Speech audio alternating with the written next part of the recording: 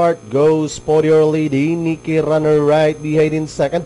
Then racing in third. Melody Amor Pronto racing in fourth. Alongside is Siembre Asais. Then followed by Wannabe.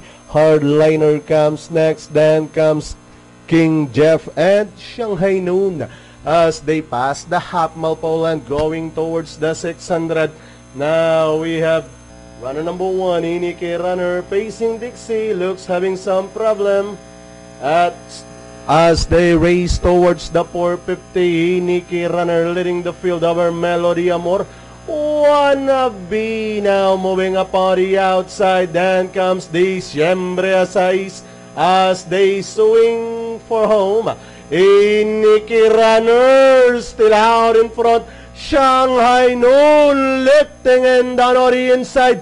Coming from behind and rushing up on the outside. Wannabe to grab the lead. Now we have Wannabe as a program ender and finally Wannabe. Disyembre 6, Shanghai Noon. Then comes Iniki Runner King Jeff and Melody Amor or your Super 6. Okay, crossing the wire first, Wannabe. Segundo, Disyembre 6. Shanghai Noon. Ang official winner, Wannabe. 1.18 sarado, tinalang Tiempo.